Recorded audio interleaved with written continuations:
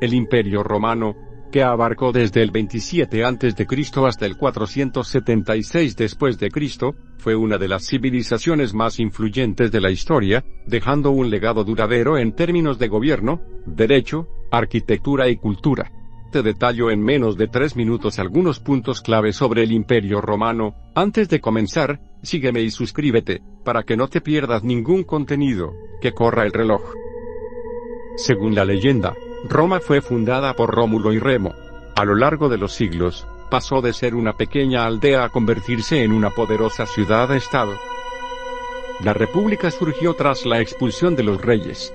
Durante este período, Roma experimentó una expansión territorial significativa, pero también enfrentó conflictos internos, como las guerras entre patricios y plebeyos. Las guerras contra Cartago, conocidas como las guerras púnicas, consolidaron la influencia romana en el Mediterráneo y llevaron a la destrucción de Cartago en la Tercera Guerra Púnica. Julio César emergió como líder tras la conquista de las Galias y se autoproclamó dictador perpetuo en el 44 a.C., marcando el fin de la República. El asesinato de César por un grupo de senadores romanos, incluyendo a Bruto y Casio, desencadenó una serie de conflictos que culminaron en la formación del segundo triunvirato.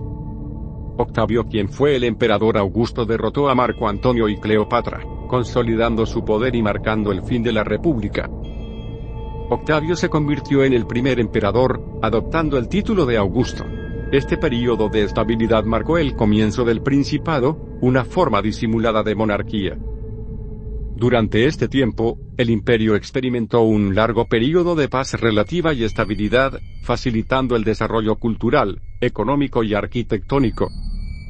Factores como la inestabilidad política, las invasiones bárbaras y la crisis económica debilitaron el imperio, marcando el inicio de un declive a largo plazo. La caída de Roma ante los bárbaros germánicos, simbolizada por la deposición de Rómulo Augustulo, marcó el colapso del Imperio Romano de Occidente, aunque el Imperio Romano de Oriente, siendo este el Imperio Bizantino, continuó su existencia por casi mil años más. El Imperio Romano, extenso y duradero, abarcó desde el 27 a.C.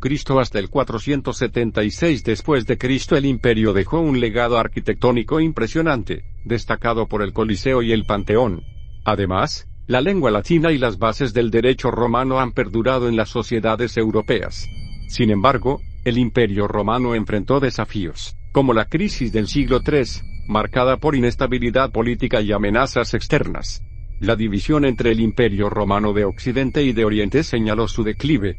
La caída en el 476 después de Cristo, atribuida a presiones bárbaras y dificultades internas, marcó el fin de una era.